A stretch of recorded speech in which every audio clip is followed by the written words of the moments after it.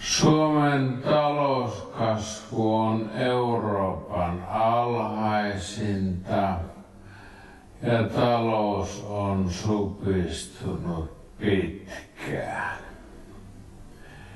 Missään muussa Euroopan maassa työttömyys ei kasva yhtä nopeasti kuin Suomessa.